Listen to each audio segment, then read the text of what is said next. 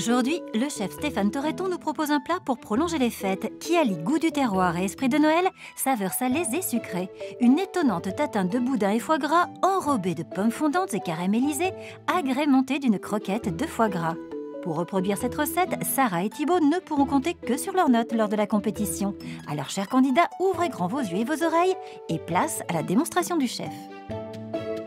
On a un chef d'exception. Je suis ravi parce qu'on n'a jamais fait ce genre de tatin euh, boudin foie gras, vous allez voir. Je pense qu'on va se régaler. Chef, à vous de jouer. Bon, allez, on est parti. Bon, pas très compliqué. Donc, on va démarrer avec des pommes golden. Hop. Alors, on utilise des pommes golden parce qu'en termes de cuisson, c'est quelque chose qui va étonir, mais à la fois pouvoir compoter. C'est pas une pomme qui est très ferme. La recette d'aujourd'hui, euh, ça me parle beaucoup. Et euh, le tatin de, de boudin avec du foie gras, euh, c'est, ça a l'air très bon. Sarah, je, je vous sens, je, je sens qu'il y a un petit coup de mou là, non? Ah non, pas du tout. C'est quoi ce t-shirt panthère rouge là? C'est pour agresser l'adversaire. Je ne me Tu- laisserai tu pas donc, déstabiliser. euh, Et on- Ensuite, on va utiliser ce qu'on appelle une pomme parisienne. D'accord. C'est ce qui sert à faire les petites pommes noisettes. Alors, C'est plus rapide en fait. alors, au-delà du côté plus rapide, c'est surtout plus propre. Mm. On s'aperçoit qu'on a quelque chose de, de bien régulier, bien joli, qu'on va retrouver lorsqu'on va cuire la pomme et surtout qu'on va la dresser par la suite.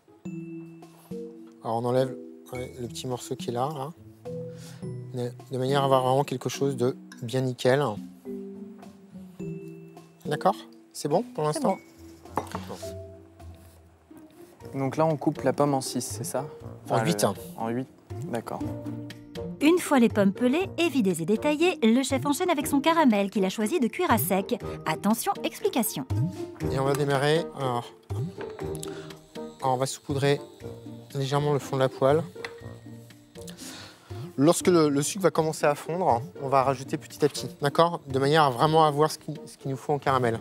C'est vraiment important de prendre son temps et de bien faire que de vouloir aller trop vite et te tromper. Parce que là, le caramel, s'il est foutu, c'est foutu. D'accord? Alors le caramel, euh, très honnêtement, j'aurais préféré qu'il m'annonce un caramel euh, avec de l'eau, parce que le caramel à sec, ma grande angoisse, c'est quand même de le brûler ou de le cristalliser, et de devoir tout reprendre à zéro, sachant que c'est une étape qui est quand même euh, assez longue. Allez, c'est bientôt fini. Je mets la fin et voilà. D'accord? Ouais, on a une belle couleur euh, Ambré, oui. ambrée. Faut baisser un tout petit chouille. Hop. Une tatin pas assez colorée, euh, même si elle est bonne. C'est tristounette. C'est tristounet, voilà. Alors là, Oh là là oui, je sais, oui, je sais. C'est comme ça. C'est- On est né, on a la classe. Ah, on non, l'a pas. ouais, ouais, ouais. Bon, ça, ça marche une fois. Par contre, c'est la partie intégrante de la recette. D'accord. Ouais. Ah. Ah, il faut le faire. à la bonne chance du débutant. Quand je vois le chef euh, rester devant les pommes, je me dis aïe aïe aïe, je vais avoir du mal, moi qui aime bien courir partout, mais il va falloir rester devant le caramel parce que c'est pas le moment de le louper et les pommes avec aussi. Et on a maintenant donc 20 grammes de beurre. C'est comme si on faisait une petite émulsion. On va monter le jus de caramel qu'on a avec le jus de pomme. Et là, on va rajouter un peu de fleur de sel. C'est très beau ça. hein. Oui.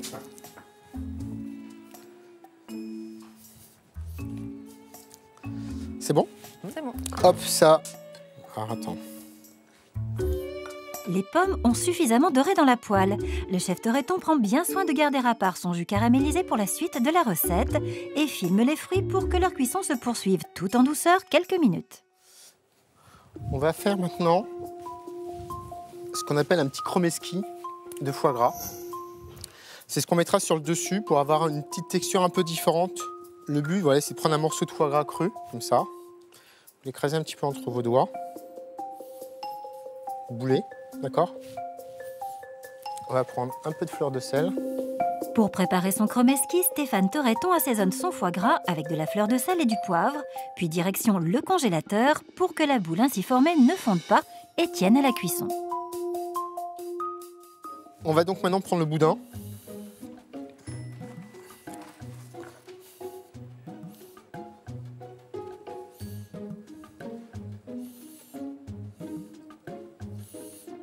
Délicatement, on enlève ce boyau. J'ai pas Ah. vu comment vous avez euh, enlevé le. J'ai fait une petite incision là. c'est trop tard. ah, tout du long. C'est trop tard, fallait regarder. Voilà, c'est fini regarder. maintenant. Hein Non, on fait une petite incision là, D'accord. d'accord Gentiment et délicatement, on enlève ce boyau. Hops. Et on va réserver notre boudin.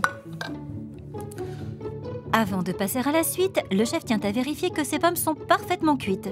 Attention, chers candidats, lors de la dégustation, les chefs seront particulièrement attentifs à la texture. Je vous laisse piquer pour voir un petit hein. peu où on en est. Et vous allez voir, on a vraiment quelque chose là qui n'a pas bougé, qui, qui est vraiment onctueux et on va pouvoir faire un peu ce qu'on veut avec. Et on a à la fois une belle coloration. Ok. On va préparer euh, pour la finition, comme ça tout est prêt, une, euh, un appétit ciboulette. Un pardon Un appétit ciboulette. Appétit ciboulette. Voilà. C'est écrit comme bon appétit. Pour réaliser ce condiment original et tout simple, le chef Toretton mélange du poivre concassé, de la fleur de sel et ajoute sa ciboulette finement ciselée. Donc c'est pareil, on met euh, la même quantité à peu près de, de ciboulettes. D'accord Une fois son bon appétit terminé, le chef enchaîne avec la cuisson des tranches de boudin qu'il va faire colorer à feu doux et sans ajout de matière grasse. Je me dis que c'est une bonne façon de découvrir la cuisson du boudin. Mais il faut pas se leurrer quand même, euh, je me dis il y a un challenge sur le, le boudin. Le boudin, le boudin, le boudin. Attention Thibaut à ne pas rester seulement focalisé sur la star de la recette. Le chef, lui, met son temps libre à profit pour huiler son plat à tatin avant de découper son bloc de foie gras en cubes. Puis retour à la poêle. Les tranches de boudin ont suffisamment doré, il est temps de les retourner. On va laisser comme ça, gentiment dans la poêle. D'accord On va laisser ça là. Prendre un petit cure-dent. Et on va commencer le montage de la tatin.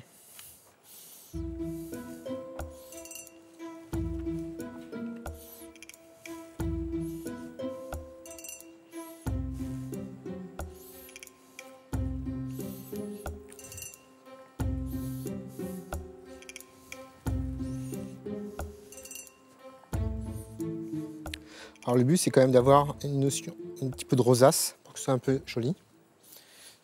On va couper les quartiers là. C'est pas évident en plus avec un petit moule comme ça. Ouais, en chemise, hein, carrément. Ouais, le but c'est vraiment de pas savoir ce qu'il y a à l'intérieur pour que lorsqu'on amène à table, les gens ont vraiment une, une sensation d'avoir une tarte tatin dessert. D'accord? Ensuite, on va mettre le boudin.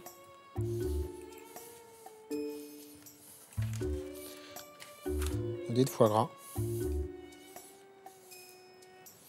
Ah, tu sais parler aux amis, toi. Hein Bah, c'est soit on reçoit, soit on reçoit pas, hein, régulièrement. euh. Ouais.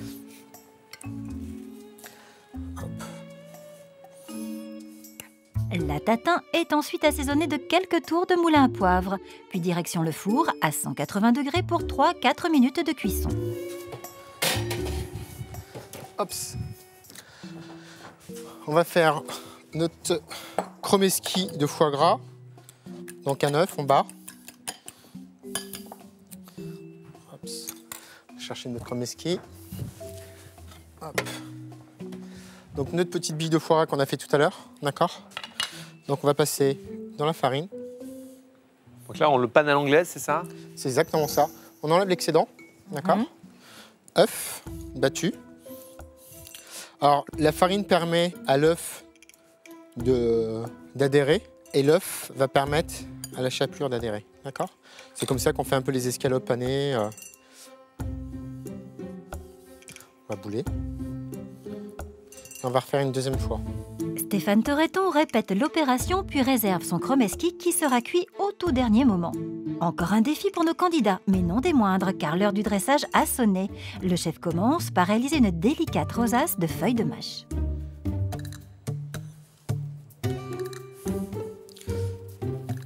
pas très compliqué. Non, non, non. Attention, vous voyez, ça prend un peu de temps quand même de faire la petite rosace de mâche. D'accord? Et ce n'est pas terminé. Il faut à présent réaliser une savoureuse vinaigrette avec le caramel des pommes et un peu de vinaigre balsamique.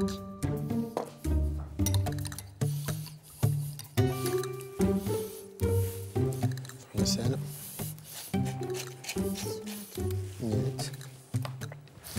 Là, on va plonger notre chromeski de foie gras. Pendant que le chromeski dort dans la friteuse, le chef poursuit son dressage très minutieux en décorant son assiette avec deux réductions de vinaigre aux arômes différents. Ok, la différence, euh, Stéphane? Il y en a un qui est à la framboise et un qui est nature. D'accord. Hop, on va assaisonner. le chromeski, je l'ai sorti. Hein. D'accord, super, merci beaucoup. Là, hop. Mettre la tatin.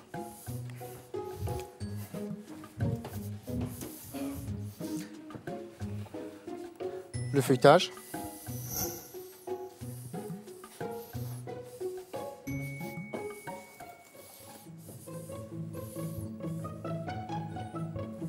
Waouh D'accord. Là, on va venir assaisonner avec donc, notre appétit ciboulette. C'est splendide. Hein.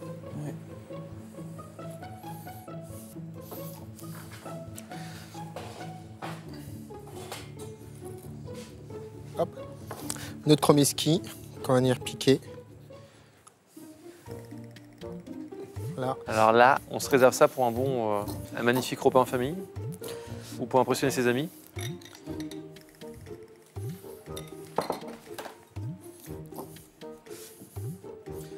On va mettre tout petit. C'est D'accord l'artiste, ça. Ouais, c'est l'artiste qui parle. Eh bien, ça, les enfants, c'est waouh, hein Ça donne envie. Hein Ça vous plaît? C'est super. Ouais, Bon, bah écoutez, bon courage. Merci. Merci. Et puis surtout, n'oubliez pas de retrouver cette recette sur france2.fr. Euh, bon, bah les amis, euh, on y va quoi D'accord. On a Allez. faim, on a très Allez. faim. Bon va. Bon courage. courage à vous. Merci. La seule question, en fait, c'est vraiment sur le caramel qui me qui m'angoisse un peu avec le boudin, le caramel, etc. C'est des choses qu'il faut pas louper. Pendant la démonstration, vraiment, le seul X serait peut-être de former le chromeski avec le foie gras parce qu'il fait très chaud. Et euh, aussi peut-être de retourner la, la tatin, c'est le moment fatidique.